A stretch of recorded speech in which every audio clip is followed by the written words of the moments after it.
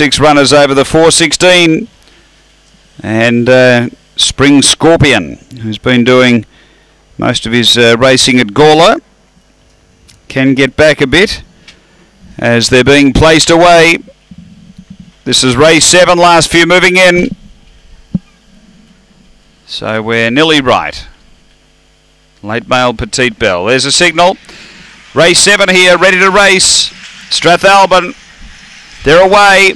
And good speed in the centre here. Fully Fried's going to look for the front. Scorched Lil going with it early. Uh, Petite Bell right behind them. A couple away. Spring Scorpion.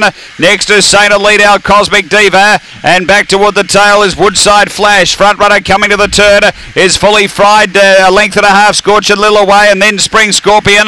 Fully Fried clear from Spring Scorpion. Scorched Lil and Fully Fried has beaten Scorched Lil, Spring Scorpion and Petite Bell. Behind those came our Cosmic Diva, and then Saint Elite. It was back toward the tail with Woodside Flash. The run here, it's around, in fact, it's 24 and 59.